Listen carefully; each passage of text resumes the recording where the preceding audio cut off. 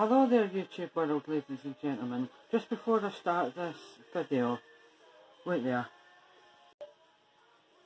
When I was piling together my uh, nine best songs like Faith 1 to 9 on the new Foo Fighters record, uh, I just thought to myself that Make a Fire would always, no matter what, be my least favourite. And then they played it on a radio station and I love the live version, so I like it now.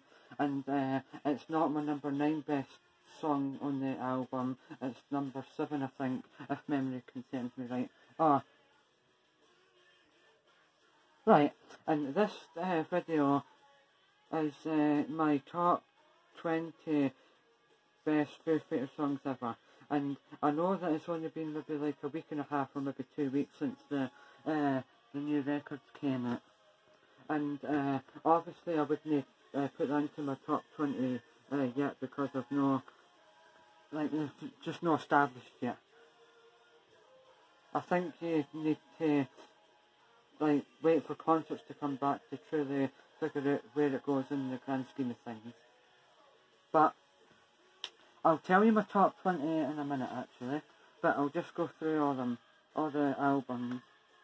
Overall, just for like production, the uh, like documentary that went along with it, that's my best Foo Fighters album we've ever made to date so far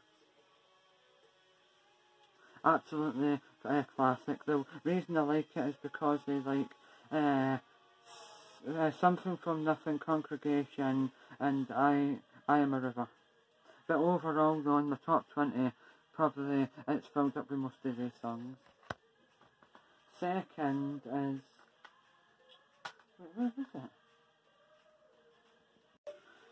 Now that I've figured out what would be my uh, best albums, second is either that or that. But uh, uh, I, I really, really, really love this album, but I'm just not properly keen on uh, back and forth and uh, a matter of time and miss the miss the misery. So I would put that uh, in second place just because of uh, that. And I'll get back to you on I'll get back to you on why that's uh, my my second best Foo Fighters album. It, it wasn't when I, I was thinking of it a couple of weeks ago though. But that's second, uh, no that's third. That's third best album, definitely 100% now. Aye, I've made up my mind. No pun intended because it's in that song there. But, uh, just because, like, nostalgic reasons, and that was the first Foo Fighters album I ever got, I just had to uh, put that number four.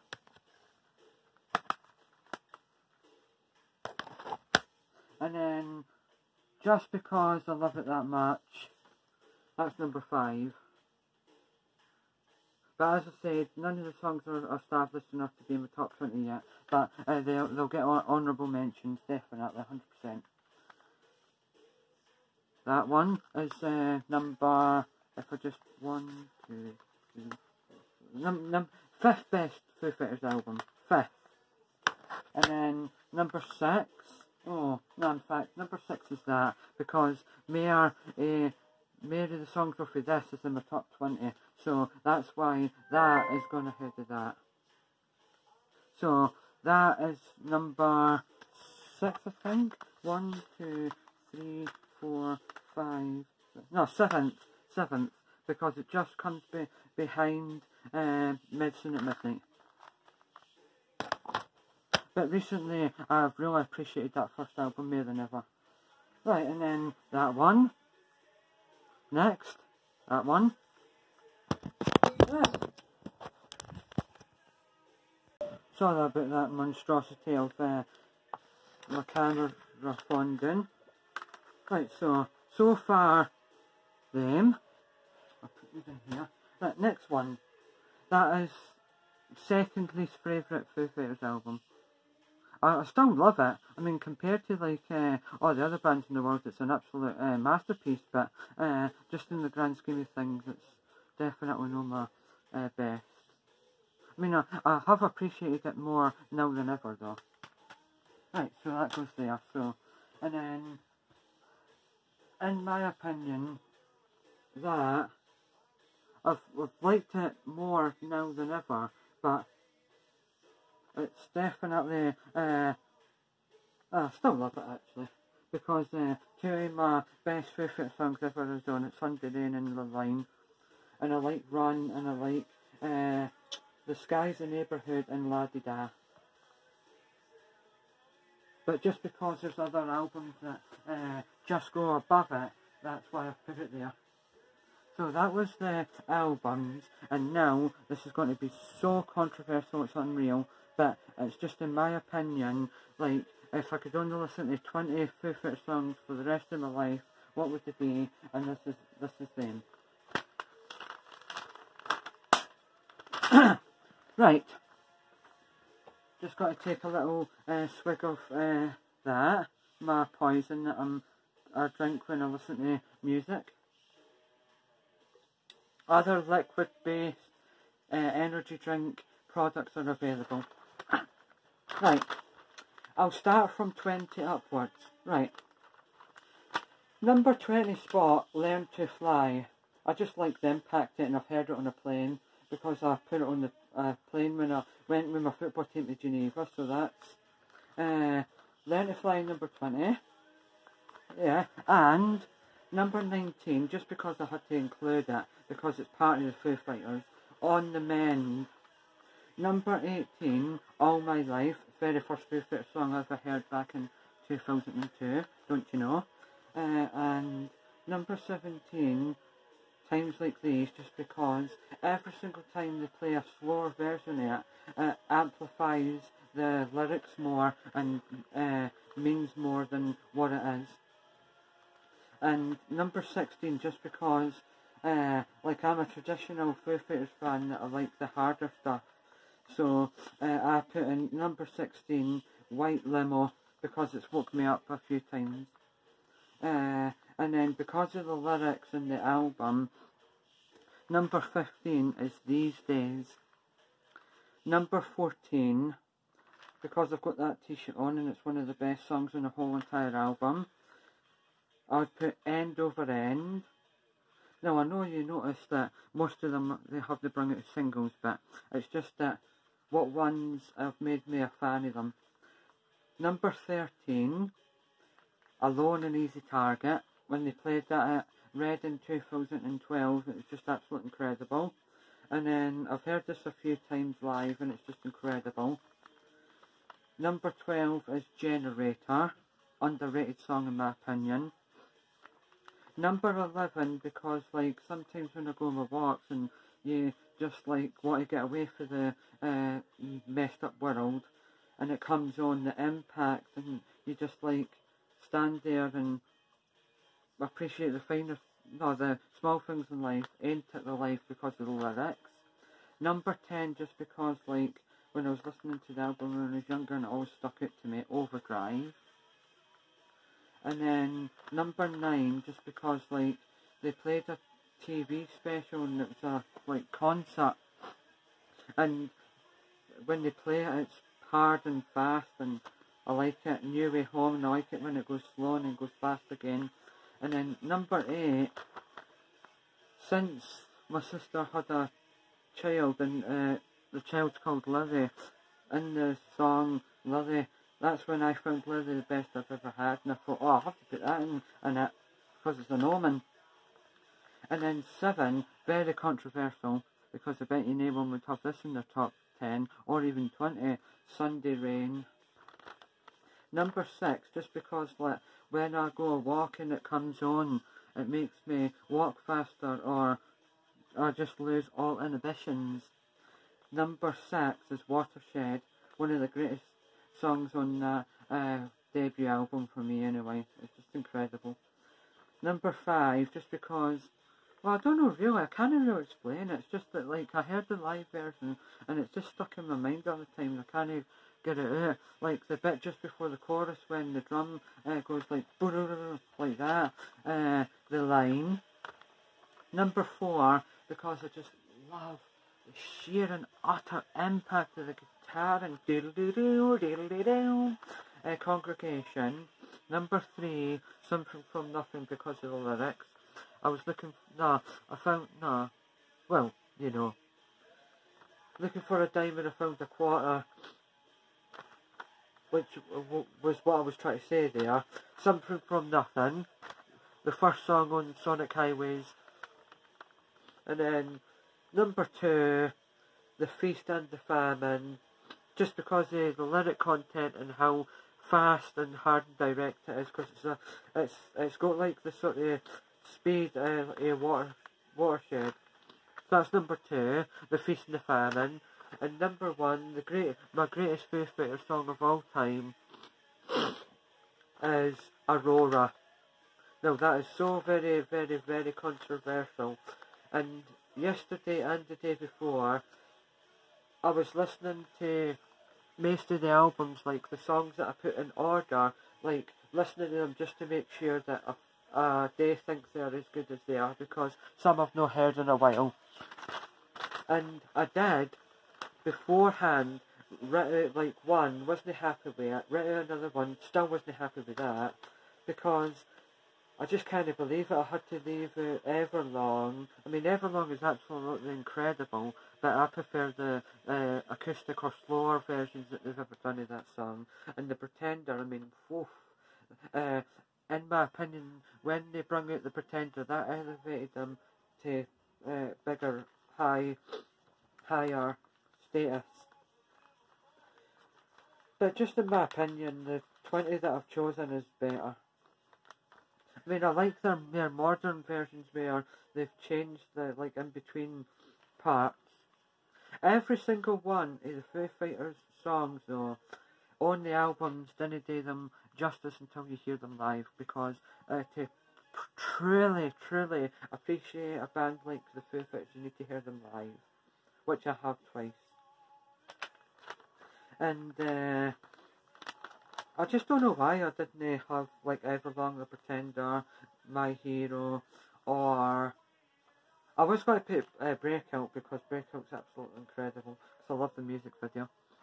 But the best music video I've ever done is Let It Fly. That's why I've put it in. Ah, oh, right. Special honourable mentions. Ah, oh, I've got that with this with a CD, a DVD my friend uh, wants me to get him that for uh, his birthday in uh, May, so I will do. Uh, because he's not a, a, massive, massive, massive big fan, but he likes all the fan favourite uh, songs, and uh, told him what songs are on it, and he said he'd like it, so I'm going to get him that. Anyway, the honourable mentions as as follows.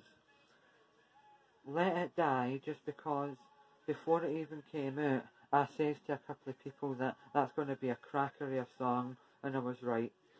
Because uh, when I seen the Foo Fighters in uh, Glasgow, the SECC, uh, that was the first song that they played. A Beam of Light came on Dave Grohl, and he was singing it.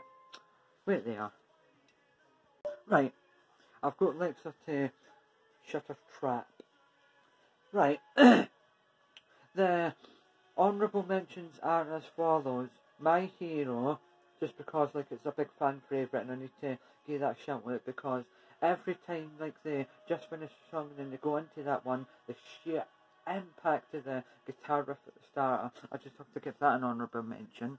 And the music video is quite good.